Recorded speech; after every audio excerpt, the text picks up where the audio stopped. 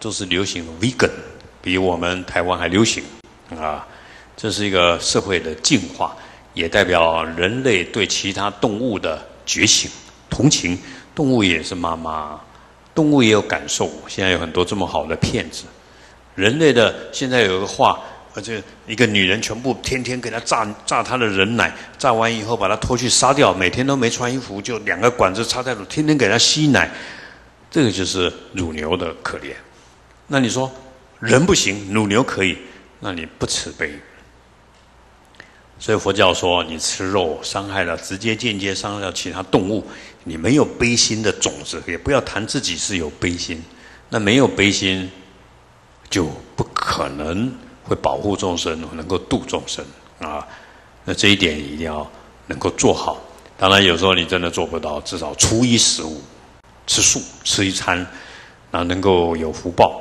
现在各位到温哥华叫有福报，吃素的人升的天更高、更清净，而且现在素食这么好吃，千万，如果你还在吃肉。千万不要吃活活的龙虾、螃蟹，那是那些蛤蜊、贝壳类，那是非常残忍跟不道德的事情，啊，千万不要。如果你无法避免吃肉，你家里的人不要吃动物的内脏，因为动物在被杀，一直痛，它的意识就一直跑到它内脏里面去，然后你吃到它的内脏，那它的它的神识就跑到你身上去。也附着在你的内脏里面，这也是个不慈悲啊！所以西方人还好，他看不到那些动物啊、头啊那些，他只他只是觉得它是个食物。那我们华人的整只拿来吃，这样啊，明明有头有眼睛，然后甚至有些还吃活活的，喜欢这样火烤的、烧烤的。所以这次日本发生这个火灾。如果一般来讲，被烧死的人就是过去最喜欢吃烧烤的人，烤活虾、烤鳗鱼，了解吗？很喜欢吃烧烤的，最后你就会遭遇火灾的凌虐，这是非常恐怖的。这个业报，那没办法形容。所以在这一点，各位多去思维这个道理啊，那你会觉得，虽然肉很好吃，它不慈悲啊。所以，虽然蛋很好吃，但是不慈悲，因为为了孵蛋，多少母鸡被虐待，多少小公鸡下来就被杀死，去思维这个道理。但是话又讲回来，各位，我今天只是勉励各位这样做。譬如说，你吃素了，别人还在吃肉，你不要看不起对方，因为他将来如果因缘成熟，他可能也会改变，对不对？你多帮他回向，哎，多帮他持咒，这样就好了。你不能。看不起对方，傲慢，啊，那这样就失去悲心。所以人都有过去，搞不好他哪一天学佛比你还厉害，只是他因缘还没成熟。好，所以第六条啊，站在菩萨道，为了修慈悲心，不要吃肉。你能够吃就吃，不能吃没关系。呃，初一十五，我是有空在家里多吃素。我认为做妈妈的家里不要杀生吃肉。那你出到外面没办法啊，但至少家里很清净。日本人很厉害，绝对不在家里杀任何的动物，对不对？因为他们有佛教的传承在啊。但是不要把家里成为一个，我常常讲，厨房不要成为屠宰场，冰箱不要成为殡仪馆，餐桌不要成为杀戮战场，肚子不要成为动物的坟墓。因为念一下。众生平等，真的众生平等啊！那这样去看待世界。所以来第六条，学佛的悲心，爱护所有动物。诸佛不吃肉，佛经写的很清楚。佛经写的很清楚，没有一个佛是吃肉了，要成佛啊！佛陀时代的阿罗汉吃的肉都是变佛陀神通变出来的，没有意识的，这是故意的，慢慢引导他们。而不是活活被杀死了。但佛陀入涅盘，佛陀讲：我入涅盘以后，一切佛弟子不得吃肉，一吃肉非我弟子，变成罗刹鬼。所以我讲佛陀是视线的，而不是说他是。比如说你要渡那一只海狗，你要渡那一只狮子，那佛陀会示现成一只羊，然后借吃它吃掉它来渡这一只狮子，明白吗？所以成为佛有这么大的神通功德，来帮助各各种众生。所以第六条，各位尽行受，学佛悲心，乃至敬未来际，不吃众生肉，不吃众生肉的戒律，各位能吃佛？能吃。好，那我想我们也回向一下，来皈依功德、受戒功德，哪怕一条、一条、两条、三条、十条。都可以，特别有人甚至发愿要吃素，那这个功德太大了啊！来回向法界众生，现世父母、六亲眷属，回向所有历代祖先、堕胎胎儿、冤亲债主、所有往生者，同享功德。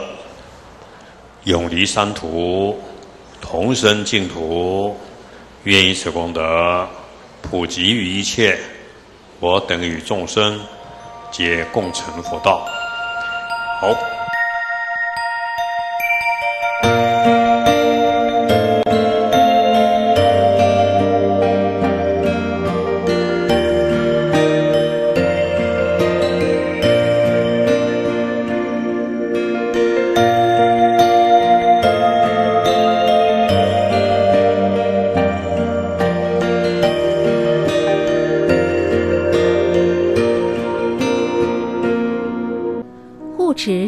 电视台就是护持佛法，就近帮助众生离苦得乐。所以，生命电视台有责任将佛陀的正法不分宗派传播在这个世间。希望各位多关心生命电视台，多护持生命电视台。护持账号：一九九六五二三二，一九九六五二三二。户名：生命文化基金会。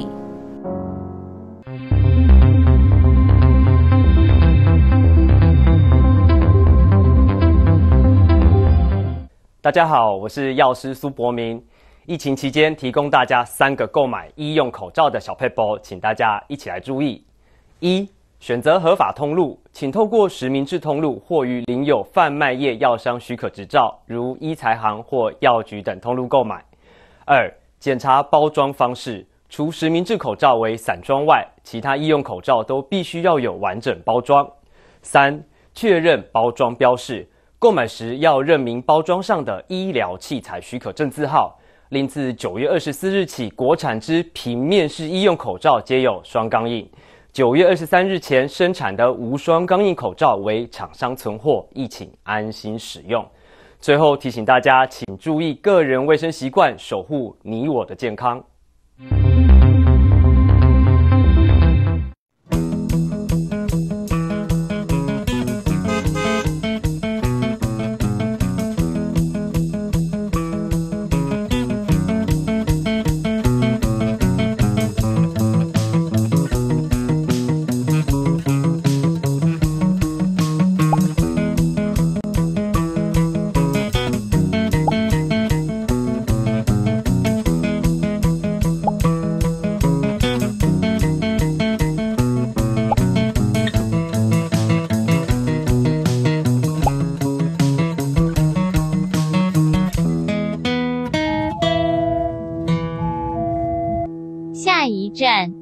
长青路，Next stop, Changqing Road Station。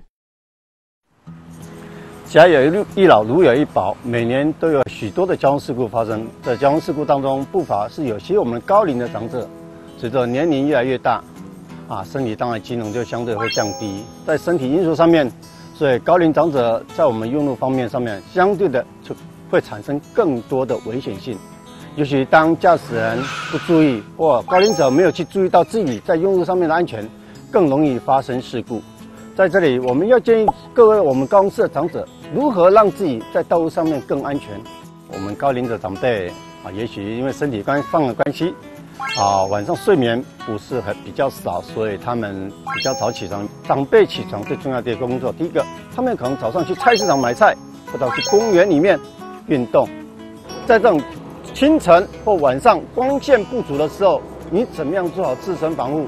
白天的话，不妨建议我们长辈尽可能穿白色或浅色的，啊，可以在运动的时候还比较安全。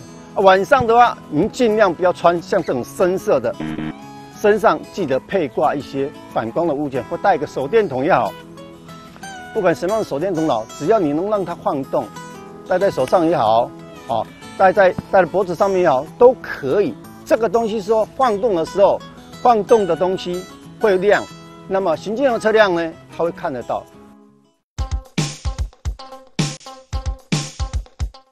道路交通事故里面有三个非常重要的因素：人、车、道路。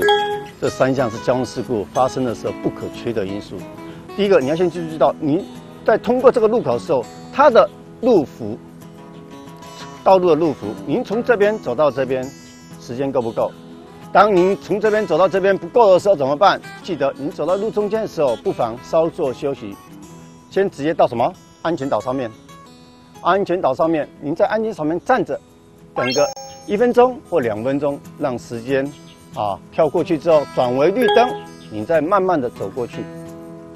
甚至说，您在这个路口准备出出发的时候，哎，绿红灯绿灯已经转成黄灯了，秒数不够，您不要仓促就直接想到这样冲过去，你不可能像年轻人一样这样用冲的，用冲的也可能让自己产生二次的交通事故的危险。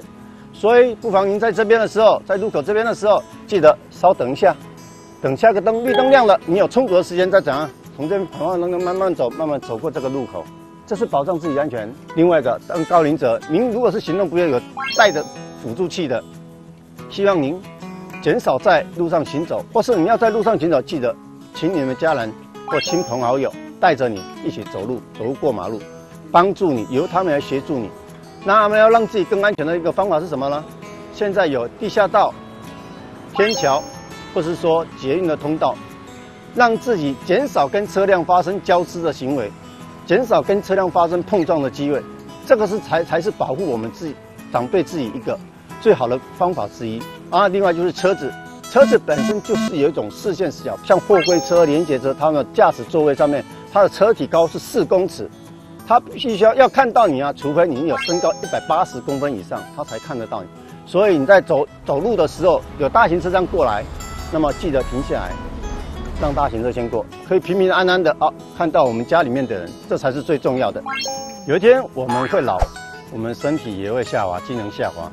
有一天我们也会身体不方便的时候，但我们最不愿意乐见，当我们高龄者长辈走在路上的时候，发生一些交通事故。